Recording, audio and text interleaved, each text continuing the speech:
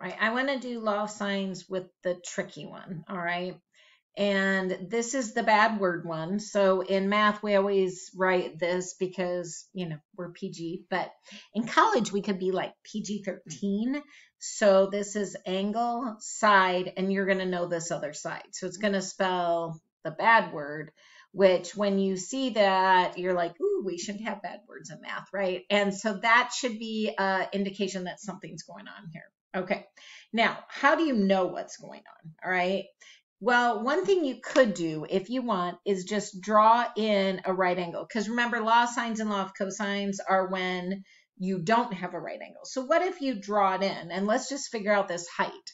All right, so this would be sine of what? Sine of 50 equals opposite over hypotenuse. So h over 5, or no, what is that? 8, sorry, my, my s so sine of 50h over 8. Okay, and I'm going to, um, I usually like to cross multiply, so 1 times that and that. So I'm in degrees. Make sure on law of sines, law and cosines, you're in degrees. So I am going to take 8 times the sine of 50. And that gives me, and dividing by 1 doesn't do anything. So dividing by the 1 there. So I get about 6.1. The height is 6.1. Now, that's if you know, we had a right triangle. So that is the shortest it can possibly be. Okay. So what if it's shorter? All right. So let's say um, I draw this in and say I just sketch it, you know, because usually when you do these, you don't draw, you know, you don't draw a really pretty one. You just kind of sketch it. So say that side A, so say I'm given angle A is 50 degrees. Let me write this over here.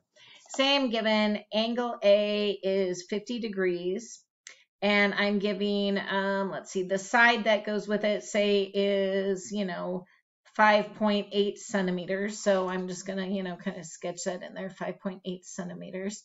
And then this is side C and angle C. Angle C and side C, we don't know. And say B, angle B, we don't know. So here's my B, don't know that. But I do know side B is what, eight, okay? All right, so there we go. All right, so say you have this. Now, sometimes we just sketch bad drawings with these guys just to get a feel. So A, B, C, and you're like, okay, A is 50. The side across from it is what, 5.8. Uh, B is here. Now, again, it still spells the bad word, angle, side, side. That should be a warning, okay? Um, I always like to draw it this way, and I'll explain why in a second. But let's do law of sines. So I get sine of 50 with side 5.8, sine of angle B with side B, and sine C, boy, and side C. Okay, this should be a warning sign to you because, again, do you see how you have two things that can vary together? That means there could be multiple answers because, like, for example, three fours, if I leave this blank over here, x, y, you could have six eights, you could have nine twelves, multiply by 10, you could have what 30 multiply by 10 40th. There's infinite many answers. And so when you have two variables that can vary together, that's a problem. All right. Well, let's cross multiply. So I'm going to take 8 times sine of 50. So 8 times sine of 50 degrees equals 5.8 times sine of angle B. And that's why we always divide by that so sometimes we um, do a shortcut and we just multiply the two numbers we know, divide by this number, because really you're solving an equation. All right, so I get sine of b equals. All right, so I'm going to take 8 times sine of 50, and then I'm going to divide by what? 5.8. So again, sometimes people just multiply the numbers they know, divide by kind of the one that they don't know. All right, I get 1.0 five, six, six, da, da, da. Okay, now I'm solving for sine. So to undo it, I do inverse sine.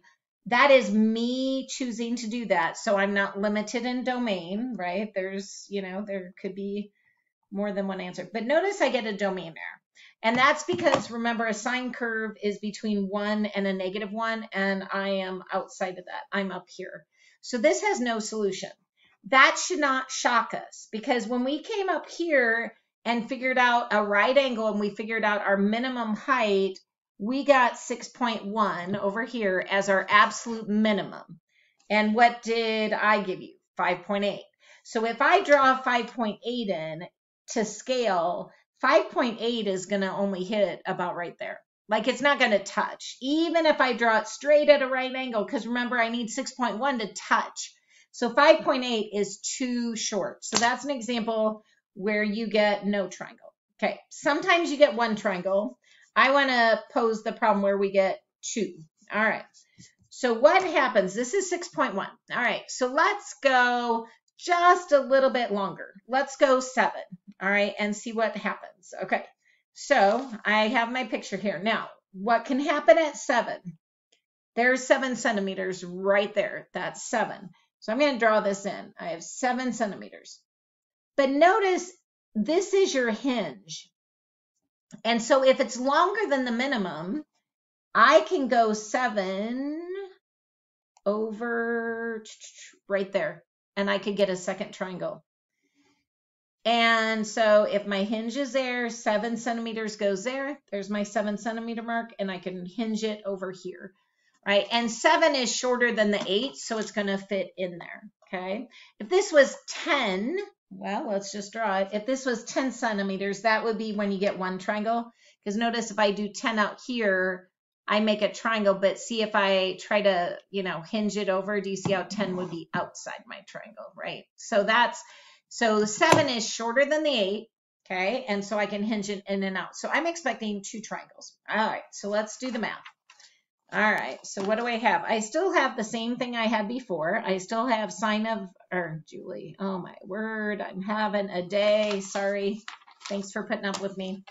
All right, Angle A is still 50 degrees. Side A is 5.8 centimeters and side B is 8 centimeters. And again, when I draw these, I like to put the unknown here, the angle here, so that's 50. Um, the side I know is what, what did I give you? Oh, this time I gave that A was, sorry, we switched it to 7. So A is 7 over here, and then this guy 8 is B. So you want to spell the bad word, A, S, S, and you want the two unknowns across from each other. So the unknown angle and the unknown side, okay? And so B is over here, and we're going to call these C and little c. All right, so I'm going to do law of sines. Sine of 50, this time over 7, um, sine of B over B, sine of C over C. Again, this is a warning sign because you have two things that can vary directly.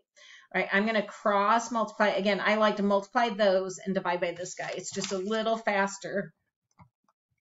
All right, so what do I have? I have sine, make sure you're on degrees, sine of 50, end of parentheses, times the 8. And for order of op, I like to hit enter before I divide by the 7, just to be safe. Okay, that is my ratio. So sine of B is 0.875479 dot, dot, dot. All right, now to undo that, I need to do the, I want the angle. So I'm going to do inverse sine to both sides.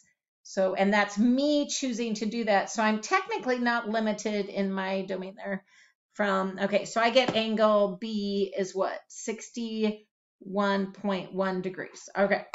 And then I could keep going, but I'm going to take a little break because I also know that I could bend that angle in.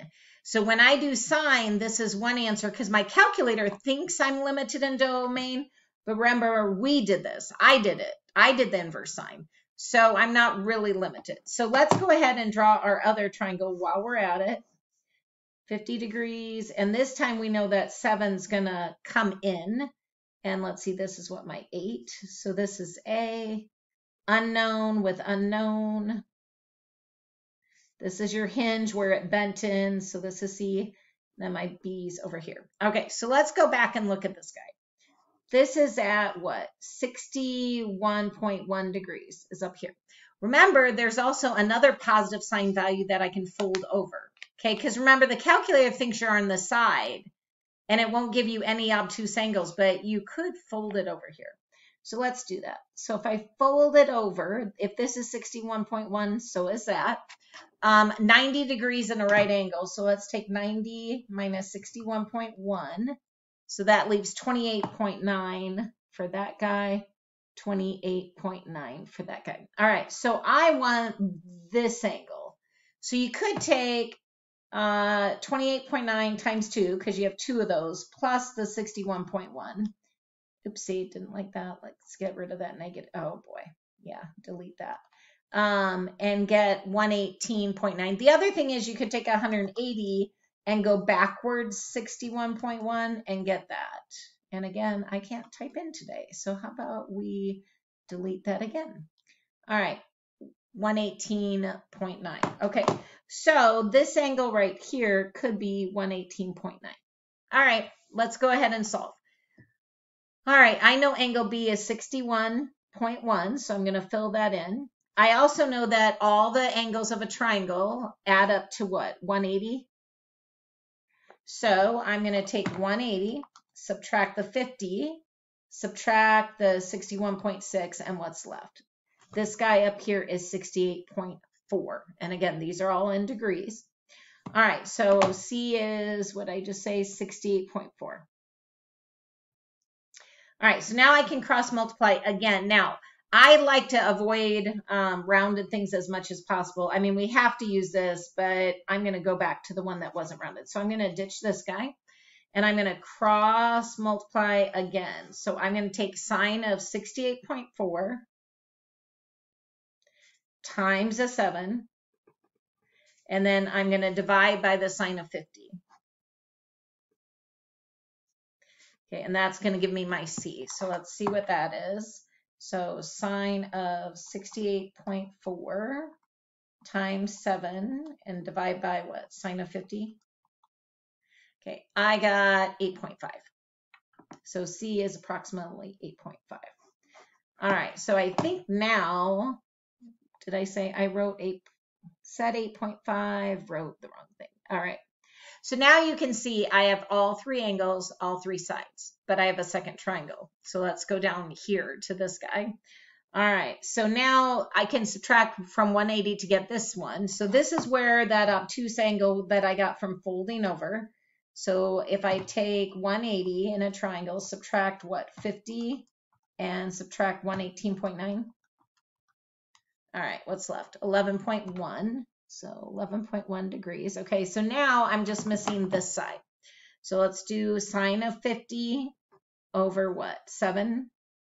And then I have sine of angle B, which is 118.9 over 8.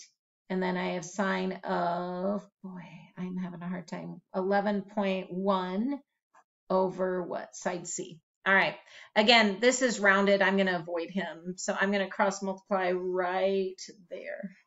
So I'm going to take that times that, divide by that. So I'm going to take sine of 11.1 and parentheses times 7, so cross multiply, enter, and then divide by the sine of 50.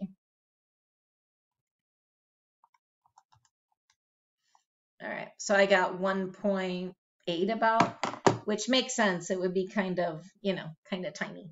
All right, so that would be when I get two triangles. And the reason, again, I get two triangles, actually, let's go back to this initial picture, is because I can hinge it here, and the seven is longer than if it would be a right angle, so it can go out, but it could also hinge in. Like, I don't know for sure it goes out, maybe it went in, okay, and I get two triangles. Now, what about if this is, say, 10? Okay, well, if this is 10, I can't hinge it in, all right? And then I would for sure get one triangle, okay? So let's look at that scenario. So I still have what? I have sine uh, angle A is still 50. And then side A, this time we're going to say is 10. And then side B is 8. And I can kind of visualize this. I'm going to pause for a second here just because I'm going to run out of time just to show you this. Okay, on this one, I went ahead and solved. I know there's not going to be two triangles because it's going to hinge out, but say I didn't. Cross multiply inverse sine. If I tried to do that fold thing again, notice that this obtuse angle would be 142.2. I already have 50. That adds up to way over 180. There's no way you can get a second triangle, and it's because that 10 can't bend in, okay? So once you get this guy, you can sub it in, uh, subtract from 180 to get C. I just rewrote it. I like to cross multiply with the least amount of rounded numbers I can get. and I get 13, which that means this guy's 13 long right there. Okay, hope